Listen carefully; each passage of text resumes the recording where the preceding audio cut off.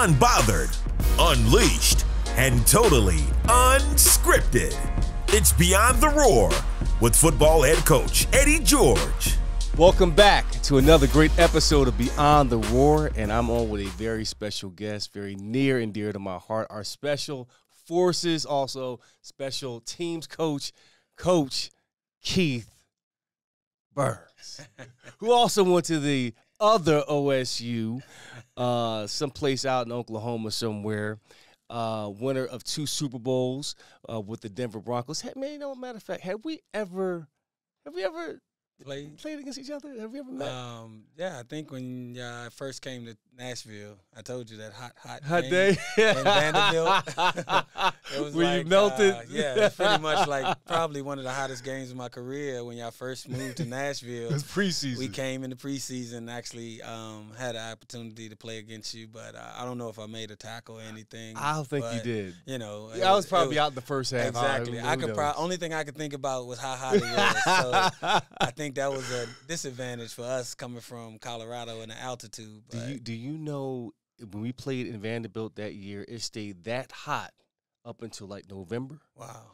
Yeah, Yeah. I definitely had an advantage. we had the advantage, right? That was a different. It was almost a different kind of heat. I mean, only time I've ever been in a game, you know, that hot. I think we played. In It was like you could see the waves of heat. yes, coming off the, turf. and It that was, AstroTurf at Yeah. the time. So See, your was feet was burning. Oh yeah, You, it- like Yeah. during warm, your feet was burning. yeah. Yeah, man. But hey, you know, when I first got this job, talked to Jeff, and I was putting the staff together, and he came with the brilliant idea of having just a special teams coach. And I was Right. like, ooh, I said, man, that, ugh, that sounds like a plan. you know how some coaches divide up the the Right. duties, but this is something that I wanted to have. I wanted to have strong a strong special teams play.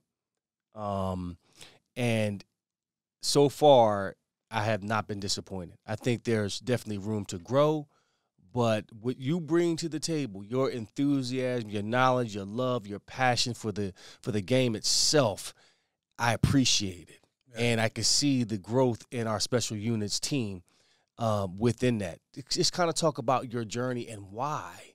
Why are you so passionate about special teams? Um, I look at it as you know, it's it's a way for me to be a team's guy. And when I say a team guy, you have to be selfless. And I what I've always been told, and I tell a lot of people, you know, as I've gone through this journey, is you know, playing special teams is not for everybody. And when I say that, you're asked to do things that a regular football player or a starter is not really willing to do. You know, you have to go out and sacrifice your body a lot of times for the greater good of the team. Mm. So, you know, and if you, you know, me being an All American in college, you know, that was all good and dandy, but Oh, I've always tell You had to throw that out Yeah, there. yeah, You yeah. didn't slide Oh, yeah. that in there. because Right, because right, you have a lot of those that come out of the college ranks, you know, with a lot of accolades, but at the same time, when you get in the NFL, it's like, okay, where can you find your niche at? You know, Mm-hmm. and for me, fortunately, I was able to find my niche playing special teams. I played in short yardage packages, goal line packages, and you know, if somebody went down, I was able, you know, to play all three linebacker spots, and that showed my value. But I always had the mentality that if I wasn't going to be a starter and all they were going to do was let me play special teams, I was going to be the best at it. And that's when my mindset changed, and I put it in my mind that okay, if this is all that I'm going to do, I'm gonna be the best at it. And when I say the best at it, I was going to be unblocked because I think that is a mindset and a willingness to go out there and do whatever I need to do for the greater good of the team. And that's basically sacrificing my body at times, you know, going down there, knocking the crap out of people. Um, basically, you know, making sure I get all my blocks and not, you know, blocking people in the black in the back or anything like that. But it's actually going out and being a selfless person because you're asked to do things that, you know, not only a lot of people can't do, but a lot of people aren't willing to do. Mm. But I'm willing to do whatever it took for us to win games because I'm a sore loser. Um, I'm proud to admit that Yeah, so because losing is not something that I'll ever get used to, and that's something that I've always tried to preach not only to the guys that I'm coaching now, but throughout my life. Um, at the same time, I never looked at it as you know was I going to be one of those guys that have the jerseys hanging up in the store or anything like that? That really didn't mean anything to me. But to be able to say that I could play with the best in the world. Mm-hmm. That was a challenge that I was willing to take on. So, and people always ask, you know, well, how was it playing with, you know, the guys that I played with? But the guys that I played with actually gave me, you know, inspiration and you know, they actually acknowledged the things that I was actually doing in the kicking game, you know, whether it was kickoff, kickoff return, punt, or punt return. Even I was on field goal block when um, uh, Jason Elam actually kicked a 63 yard field goal at the time. So um, you're always in part of the team, but actually at the same time, you take it upon yourself to find your niche. And that's what I did. So now that I'm coaching the game, I actually try to coach guys the way that I played the game. And the way that I played the game was with a lot of passion, a lot of enthusiasm. And I tell cats now that if you're willing or you're looking to wait to see if your jersey is going to be in the bookstore or anything like that, that is not why those are not the type of people that I want on the team. Mm-hmm. I want guys to go out there and have a lot of want to, have a lot of passion and a lot of love for the game. And my main three things that I always look for in guys who want to be on special teams is trust, commitment, and care. Because if I can trust you, I can put you out there. That's right.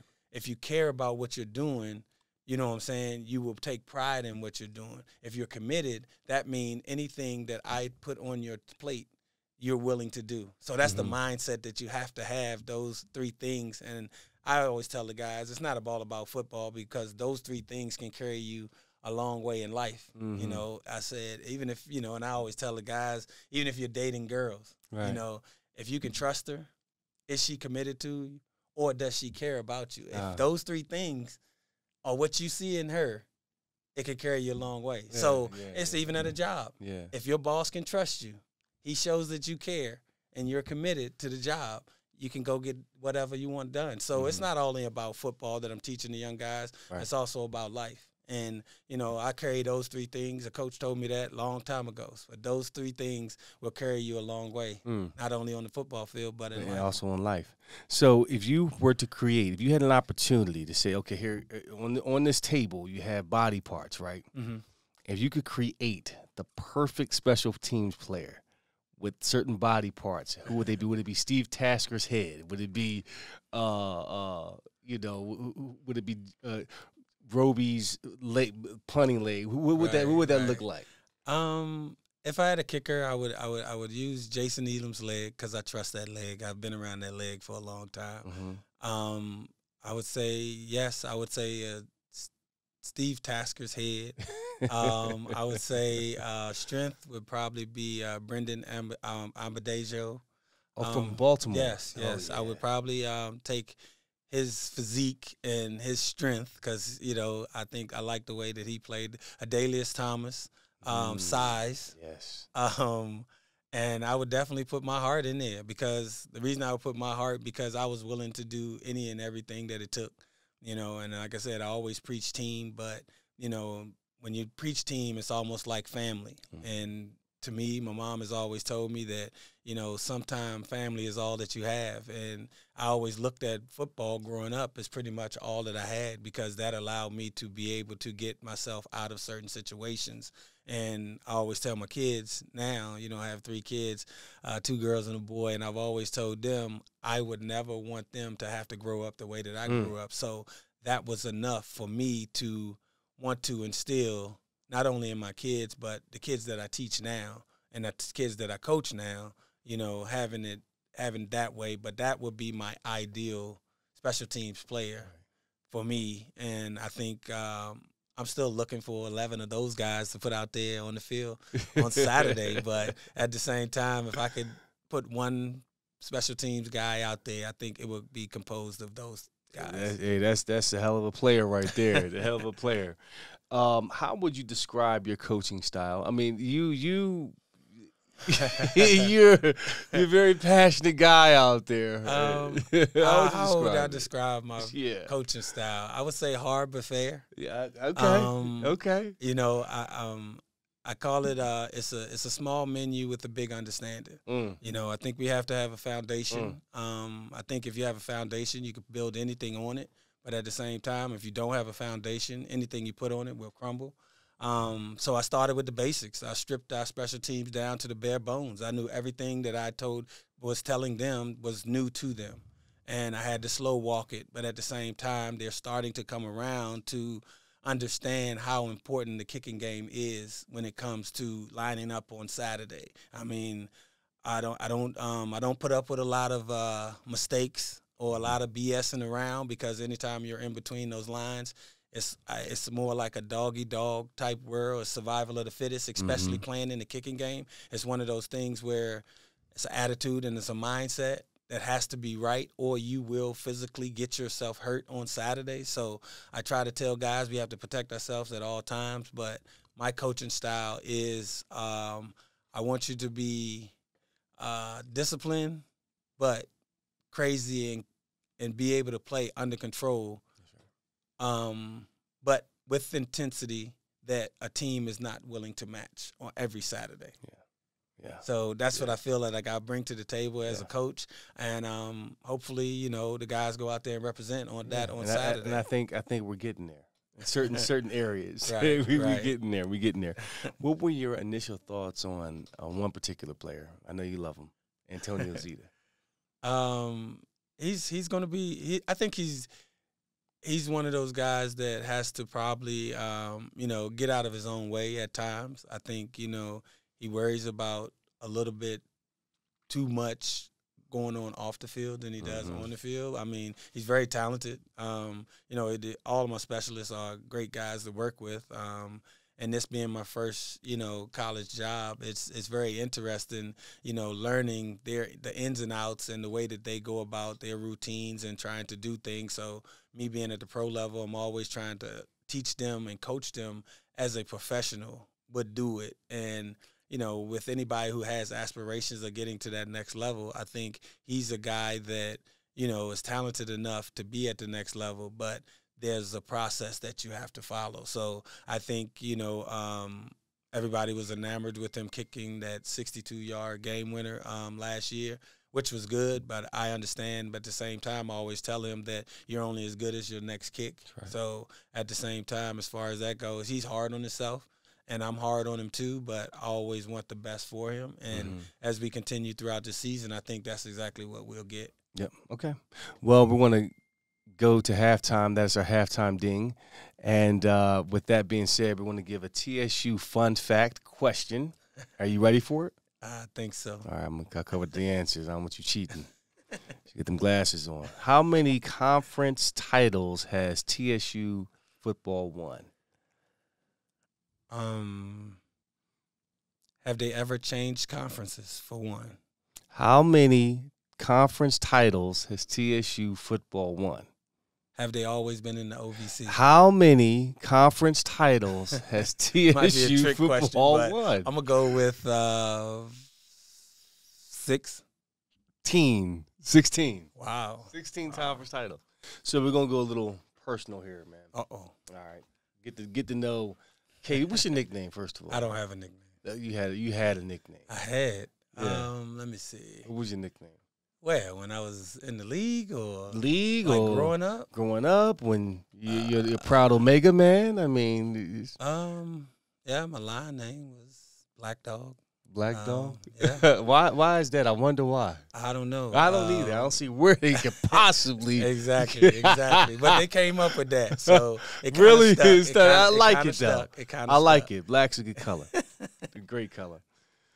Um, you you're a man that is always thinking. You're you're. Um, in fact, I didn't know this about you. You're a comedian. Wow. You did a uh, you got comedic chops. You had did a couple stand ups here and there. You're friends with Dave Chappelle among others. Right. Um, and as a comedian, you're always thinking of material. So what, today, specifically, right now, what's what's on your mind today? Um, the mere fact that I came in here was no chance to sit down.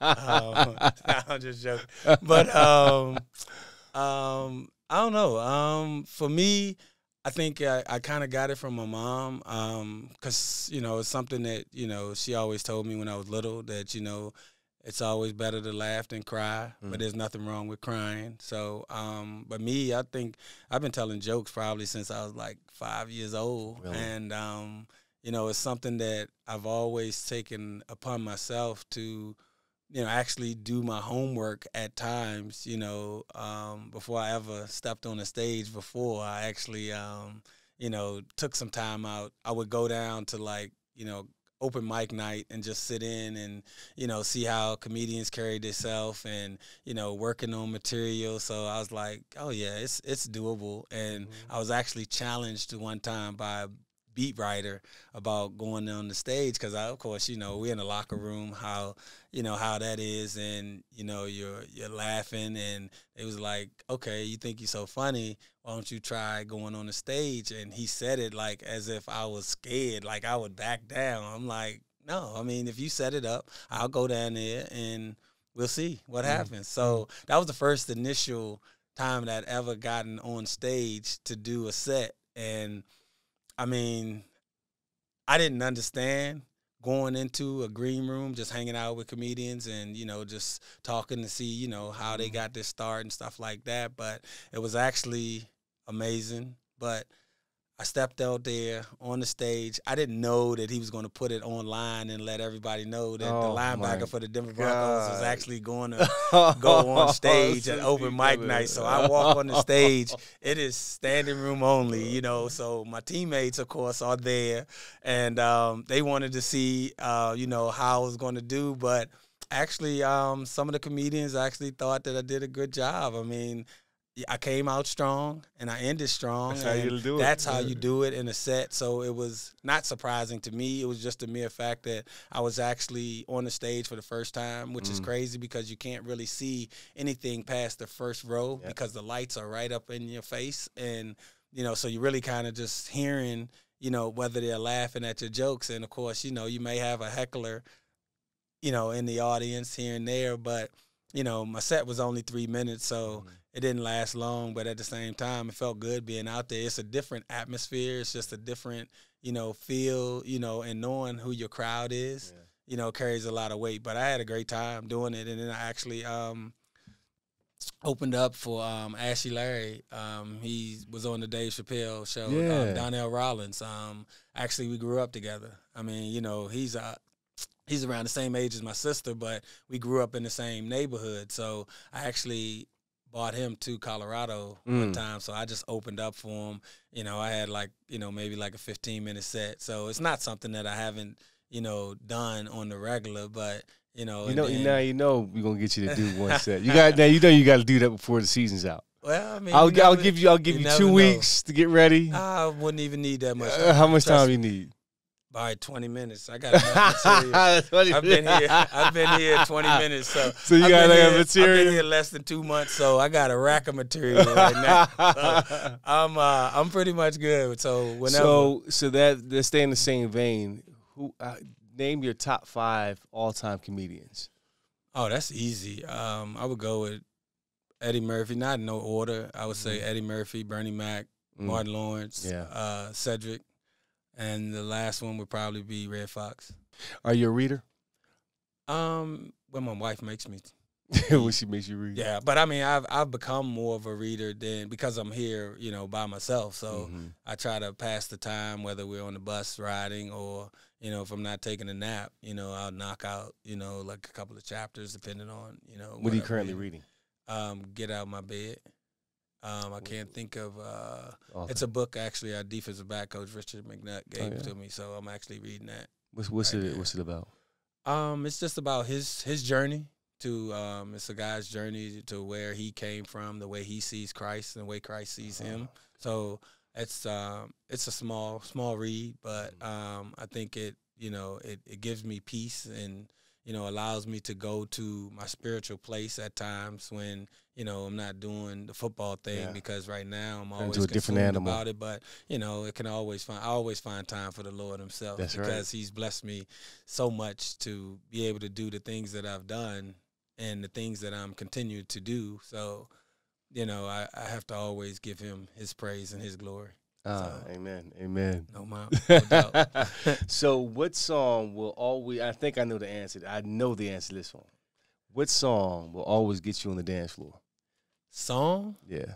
Uh, oh, that's Atomic Dog. Atomic Dog. Yeah. Always get me on the dance floor. uh, and I'm not even on the dance floor that much, but it's something about that song that brings the best out of me. Yeah. So, you know, I mean, I'm I'm getting up there in age. I don't know about the party hops and you know the spins and all that now, but you know, back in my day, I Could could spin? set it out. Oh yeah, I could set it out. That was when I was really, really on the yard. I was out. Yeah, well, well I'm, I'm I'm relatively new to, to that, and uh, I have yet to do a donkey kick because Oh, of wow. these. You know, Yeah, it's not easy, it's a different animal. I mean, at this age, I don't know. I gotta might have to tape my wrists and some more. I don't know, but uh, it's knee sleeves, Hey, uh, all of that, uh, uh, all of that. yeah, yeah, yes, Tiger Balm and all that. Exactly. All right, man. So listen, we're gonna go into two minute uh, rapid fire question. All right. Okay. Okay. I, I know you're a foodie. I love you. Love to eat. Yeah. You mentioned it on the way in here. If you ain't no food in here, Yeah. so, yeah, got you. So if you could only eat one food for the rest of your life, what would it be? Oh, that's easy. Tacos. Tacos. Yeah. Ketchup or sauce on the tacos. What? You say ketchup? Yeah. Who would do So- that? I mean, people. Some people put ketchup on their tacos. That's food abuse. Okay, I'm just saying. I mean, I ain't never heard of that. I yeah, I'm just saying. No. Some put no, sour cream, no- ketchup, Ain't nobody putting no ketchup on no tacos. Ke- That's ketchup not- and hot sauce. No. Dog, I'm telling you. Don't do it. All right. I can't believe you even said that. I'm just saying, I don't do it, but I've seen people as a debate where people like to put ketchup on their tacos. I've never heard somebody. Is you think that's ketchup? Is that might be taco sauce? no, ketchup. or salsa Ca- or something. ketchup. Never. California, I, I guarantee nasty. you, if you ask anybody from LA, if they put ketchup on their tacos, That's they'd be bad. like, yeah. That's bad. Hey, Uh, but I'm they do mostly fish tacos out in California though. They're I'm talking really- about the, the right, the taco meat, dog, with the the shell and the lettuce, the cheese, They taco. wrong. That's a violation. That's a food violation. I'm just saying, you know, hey, each his own. yeah, you're right. Would Would you rather go to the movies or watch the movies at home? Um, I'm more of I could do movies at home. Um, because here's a fun fact. I actually my kids used to be so embarrassed. I would always like if I'm gonna watch movies at home, Mm-hmm. I would go to the theater and get the theater concessions. concessions and leave. I know that sounds so hood. That's why I said ketchup but- on the damn taco fits you. No, no. Yeah, I would never I mean, that's ketchup on that's the ketchup on the taco.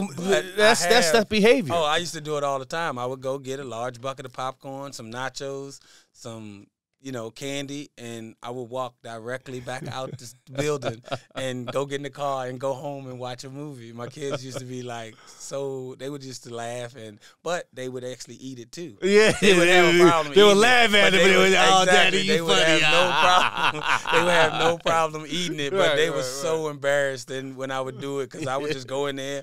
I wouldn't buy a ticket or nothing. I go straight to the concession stand, walk right back out of there, get in the car. But they look at you crazy. Oh yeah, The my kids or no, the people. The people. Would look at Oh no, crazy? they wouldn't know what I was doing. They didn't know whether I was coming or going, so it didn't matter to them. Right, right. you know, right, so right. but I would go home and just sit there, watch a movie. what is it about the, the the I guess the concession food that Oh, those must, those are must have. Yeah, those are must haves. I I mean, if you you. got that, you know, the Lord has blessed me to actually have a movie theater now in my Mhm. home. So I actually have my own popcorn popper. So it's nothing for me to do that now. But to go before I, that occurred, it was nothing for me to go. are you a some popcorn connoisseur? Or, or you Um, just I, like I would say I used to butter? be. I was no, I would say I used to be. Um, I love cheese popcorn Cheese better popcorn. than um the regular movie popcorn, but I can always settle for that.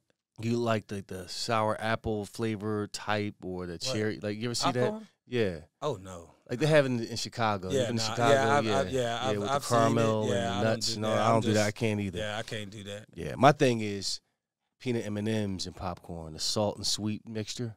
No, Throw some peanut. No, no, not not at all. No, that's- not me. You gonna Why do one or funny? the other? I mean, I, why because you're only peanut gonna do one or the other. How can you do both? You can do both. I mean, you, I put peanut M and M's in with the popcorn, That's so you get the salt. violation. How is that? Nah, nah. You can ask any sane person.